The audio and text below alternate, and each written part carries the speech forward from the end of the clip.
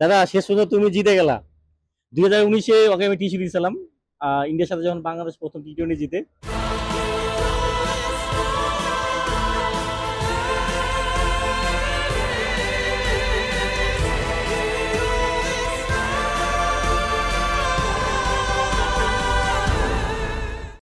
তা, ও আসার পরে আমাকে বলতেছিল যে, এবার টিসিও তোমাকে আমি দিব।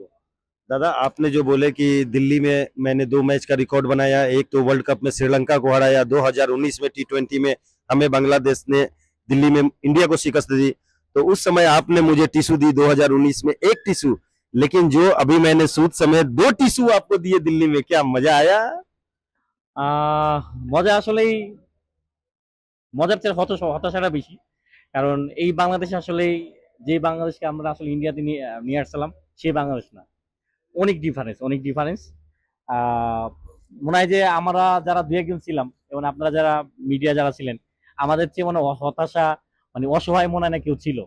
কারণ মনে হচ্ছিল যে মানে এখানে বোলিং প্র্যাকটিস করতেছে। এখন এমনই ফুরফুরে মনে থাকবে সবাই।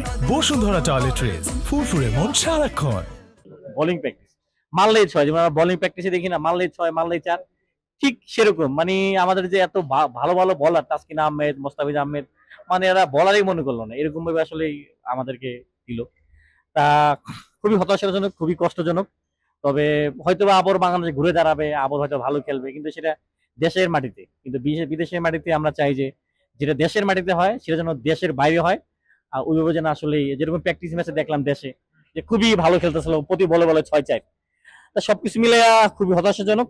তবে তার চেয়ে আরও বেশি হতাশাজনক যে মানে আহ, মানে যেই বাংলাদেশ যে পারফরমেন্স দেখাইছে, সেই পারফরমেন্সে মানে দর্শকরা যেভাবে আসলে তাদের সাথে লড়াই করার মতো, কথা বলার মতো আসলে ওই ভাষা, ওই সাহস মানে ছিল না, মাথা নিচা করার মতো। কারণ তারা যখন বারবার বলতেছিল, ইন্ডিয়া জিতবো জিতবো, তখন বলতে পারি না তখন আর যে, আসলে বাংলাদেশ জিতবে। কারণ মানে বাস্তবতা মানতে হবে আমাকে যে আসলে আমাদের মানে জিতার মতো টিম না। হয়তোবা শেষ পর্যন্ত চাইছি যে, ভাই, লড়াই করুক, একটু মান সম্মানটা থাকুক। অন্তত মানে এক, দুই ওভার আগে ম্যাচ শেষ হোক কিন্তু সেটা দেখা যায় অনেক আগে ম্যাচ রেজাল্ট হয়ে গেছে। মানে তা এর- এরকম আসলে খুব হতাশাজনক। তা দিন শেষ আসলে জয়, তবে ওরে আসলে আমার মাঝে হিংসা হয় সত্যি বলতে। এত বেশি হিংসা হয়। কারণ এত বেশি জয়ের সাক্ষীও, এত ইতিহাসের সাক্ষীও, যেটা আসলে কল্পনা করার মতো না, যেখানে যায় সেখানে জিতে। ওয়ার্ল্ড কাপে গেছে ওয়ার্ল্ড কাপে জিতছে, এখানে আইসে এখানে পাঁচশো নতে জিতলো। মানে ইন্ডিয়া খালি জয় আর জয় জয় আর জয়। আসলে আমরা অপেক্ষায় থাকি কবে মানে জিতবো। আসলে বলো।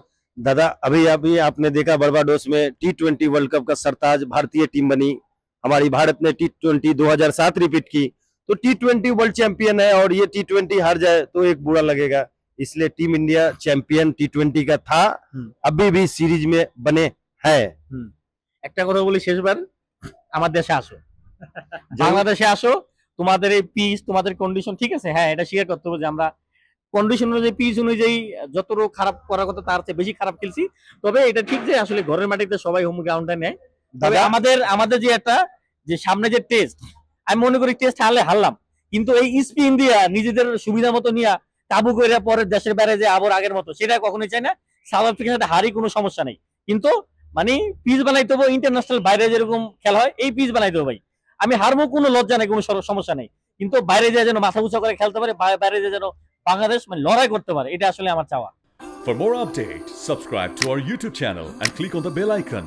Follow us on Facebook and Instagram. Download T Sports app to enjoy exciting games and highlights. Visit tsports.com.